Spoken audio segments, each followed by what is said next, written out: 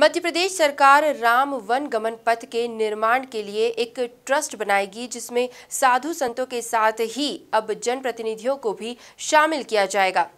खास बात यह है कि इस पथ के निर्माण के लिए सरकारी पैसे के साथ ही अब भक्तों से दान भी लिया जाएगा। इस पथ के निर्माण के लिए सर्वे और निर्माण कार्य की ज़िम्मेदारी सड़क निर्माण विभाग को सौंपी गई है। देखिए खास रिपोर्ट। सीएम कमलनाथ ने राम वन गमन पथ निर्माण के सिलसिले में भोपाल में बैठक ली। बैठक में तय किया गया कि पहले चरण में 30 किलोमीटर अमरकंटक और 30 किलोमीटर चित्रकूट क्षेत्र से पथ बनाया जाएगा। पथ कम से कम आठ फीट चौड़ा रहेगा। सीएम कमलनाथ ने कहा है कि काम तेज़ी से किया जाए और रास्ते के दोनों ओर पेड़ लगाए जाएँ।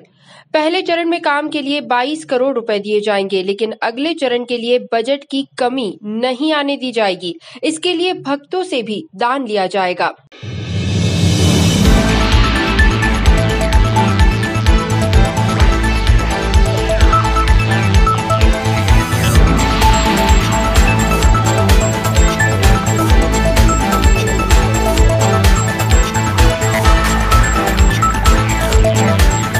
मुख्यमंत्री ने पथ निर्माण से जुड़े सर्वे का काम सड़क विकास निगम को देने के निर्देश दिए हैं।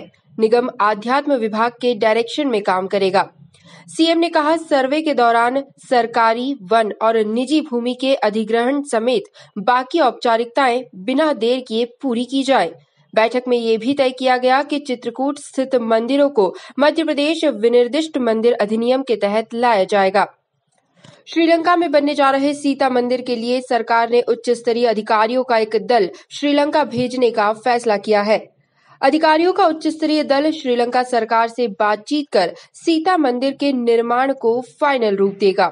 साथ ही सरकार ने सांची में अंतर्राष्ट्रीय स्तर के बौद्ध दर्शन केंद्र विकसित करने की समीक्षा करने का भी फैसला लिया है। कल मुख्यमंत्री जी ने ये कह दिया कि एक ट्रस्ट बनेगा। इसकी पूरा दस दिन के अंदर इसकी वर्किंग कैसे होगी?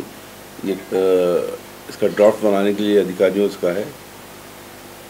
और मुख्यमंत्री जी इसके अध्यक्ष होंगे और चीफ सेक्रेटरी उस, उसके सचिव होंगे। और बाकी और कैसे कैसे मेंबर्स होंगे कुछ धार्मिक लोगों को कुछ सामाजिक लोगों को भी उस उसमें रखा जाएगा। बाईस करोड़ रुपए इसमें पहले से है और बाईस अगले बजट में। इससे चौवालीस करोड़ की राशि आ जाएगी। तीस किलोमीटर चित्रकूट से और तीस किलोमीटर अमरकंटक से। ये पथ बनेगा आठ फिट इसकी चौड़ाई पथ की। होगी बाकी रोड और बाकी जो डेवलपमेंट है जितने भी शहर बीच में आ रहे हैं, पाँच छः उनका भी पूरा वो होगा। जितने मंदिर आएँगे, उन सबको भी उसमें समायोजित किया जाएगा। और सीता माता का मंदिर बनेगा, जिसके लिए पाँच करोड़ रुपए चिन्हित हुए। एक हाई पावर डेलीगेशन अधिकारियों का।